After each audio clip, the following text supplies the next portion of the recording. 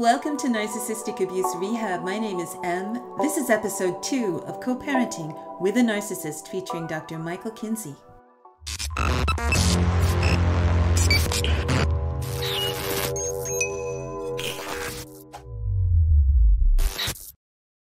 Hello, and welcome to Narcissistic Abuse Rehab. My name is Em. I'm a certified recovery coach, educator, and author of the book are you in an emotionally abusive relationship? It's a recovery tool I created after coaching people around the world and discovering how important it is to know how to spot the red flags of emotional abuse in relationships. It's also a self reflection tool to help you build healthy boundaries. To thank you for supporting our channel, my gift to you today is a free copy which you can download by clicking on the link in the description box below. This message aims to inform, enlighten, and provide accurate general information about narcissistic abuse. It does not provide medical, psychological, or other professional services. If you decide that you need professional assistance, then please seek the relevant specialist advice before taking or refraining from any action based on information in this message. In episode 1 of Co Parenting with a Narcissist, Dr. Kinsey talked about how children need to know that they're not living in an alternate reality from their parents. He shared the long term developmental impacts some children suffer when exposed to narcissistic abuse. He gave tips on how to cope when the narcissist triangulates you and your child with their new partner. And he explained how to navigate one of the most extreme kinds of narcissistic abuse when the narcissist alienates you from your child. So don't miss episode one of co parenting with a narcissist. There's a link for you in the description box. Today, we talk more about strategies for people who are co parenting with narcissists. Dr. Kinsey is the founder of the mental health blog Mindsplain.com. He is also the author of the award winning children's picture book Dreams of Zugunruhe he received his doctoral degree in clinical psychology from the New School for Social Research, and he's a specialist in the dynamics of personality, intergenerational trauma, and parent child attachment. In addition to his distinguished background, Dr. Kinsey is in private practice in New York City. Today, he has a special surprise to help parents who are raising children with narcissists, so stick around until the end of this message to find out what he has for you. Now let's dive into episode two of co parenting with a narcissist. By the end of this video, you're going to learn how to answer your child's questions about the behavior of their narcissistic parent. What is the best way to answer my child's direct questions when they're at an age when politician style answers don't cut it anymore? This kind of goes to what we were talking about before about mm-hmm. the kind of gaslit reality children of narcissists find themselves in. Yeah, and kids are such good BS detectors, even from a young age. Mm-hmm. Um, one of the amazing things about our brains and how we're wired is simply that we can decode, maybe not consciously, but we can decode guarded answers from more free, authentic ones. We can tease these things apart with great precision.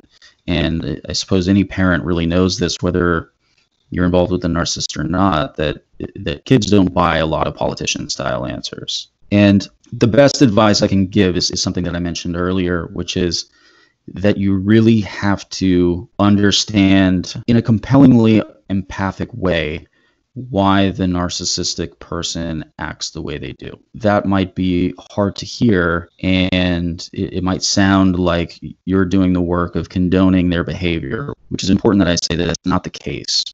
You know, mm. you hmm. can understand something without condoning it. Right. And the more that the that someone's able to understand it, the more clearly I think it brings into relief the why it doesn't work or why it's dysfunctional or why it shouldn't be the way it is. You know, for a lot of narcissistic people, that explanation could be something like, you know, your father, your mother had this experience growing up. What's closer to the truth is they're feeling this this vulnerable, sad, disappointed, hurt other way. Mm. And it would be much better for all of us if it if it happened differently, but this is the way it is. And there's a lot of people you'll run into in life who who act this way because it's very very hard to feel sad, hurt, humiliated, etc. Mm, yeah. Yeah, it's interesting because people who get targeted, or many of the people who get targeted for this kind of abuse, are highly empathic. And what you're, you're the way you're describing this particular course of action, it allows people to use that that empathy to actually mm-hmm. push through. So I think that it's it's really interesting and solid way to go forward.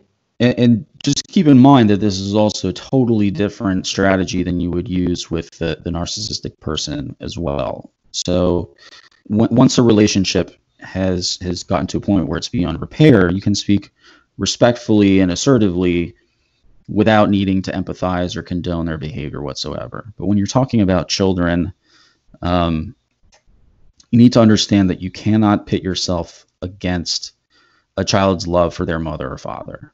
Mm. It's um, you'll not you'll not be well received, and you're putting yourself in your relationship with your child at, at great risk by trying to, in some ways, um, stand in between them and one of their parents. Mm. Because children just always love a parent, even if it's unhealthy in many ways. So when you're dealing with your kids, you really have to be respectful of that love that they have for them. And acknowledge the shortcomings, but also make it okay for that child to to retain some sense of loving connection to them and retain some sense of, of loving connection to them and, and not not make it a sort of zero sum game where it's either it's either him or me or it's either her or me right by giving the children these sort of impossible choices Absolutely. Yeah. That wraps up episode two of Co Parenting with a Narcissist with our special guest, Dr. Michael Kinsey.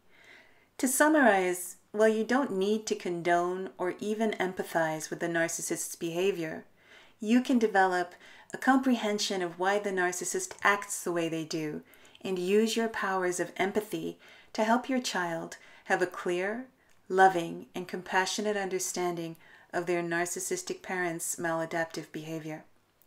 Avoid falling into the traps of competing with the narcissist for your child's affection. Also, refrain from criticizing the pure love your child has for their other parent, because having positive regard for you and their other parent are essential components for your child's healthy psychological development. And now I get to share the amazing gift Dr. Kinsey has for you. He's giving away the first two chapters of his new book, Transcendent Parenting, a workbook for parents sharing children with narcissists. In this book, he uses his expertise to help you understand the state of play between you, your child, and their narcissistic parent. He gives you strategies and exercises to help you create the healthiest possible environment for your child to thrive in under these challenging circumstances. To get this important information, go to the link in the description box and log on to mindsplain.com where you can download your free copy of the first two chapters of his game changing book today. I also want to share that you can find narcissistic abuse rehab in this week's newsletter from our friends at Surviving Narcissism. I want to express my gratitude to Laura Charanza and Dr. Les Carter for kindly including us in their newsletter, so be sure to check that out. Now it's your turn to talk about your experiences of co parenting with a narcissist. I want to know what challenges you are facing and what's been working for you. Your questions are always welcome, so let me know what's on your mind and what you'd like me to talk about in future messages. If this message helps you, please hit the like button and subscribe to help grow our channel. Come hang out between messages on Twitter, Instagram, and Pinterest. If you want to take things further and book a coaching session with me, log on to narcissisticabuserehab.com and send me a message requesting a free 15 minute consultation. Guys, that's it for now. Be good to yourself, and we'll talk again soon.